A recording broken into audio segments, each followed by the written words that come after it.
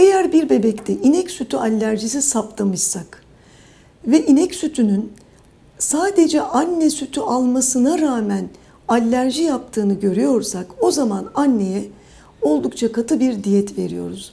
Ve diyoruz ki süt ve sütten yapılan her şeyi keselim.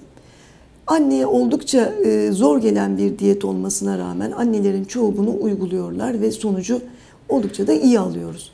Ama bazen inek sütü proteinlerinin tamamen e, kesildiğinden emin olamıyoruz. Çünkü anne e, süt ve süt ürünlerini kesmekle birlikte hazır bazı besinler tükettiğinde bu besinlerin içinde de sütün olmadığından emin olmak zorunda ve bu nedenle hazır aldığı besinlerin etiketlerini okumalı. İçinde eğer sütten yapılmış bir ürün varsa bundan da uzak durmalı. Eğer bebek anne sütü artı mama ile besleniyorsa o zaman mamanın inek sütü proteininden elde edildiğini bildiğimiz için o mamayı kesip özel bir takım tamamen inek sütü proteinlerinden arındırılmış çok özel mamalar kullanıyoruz.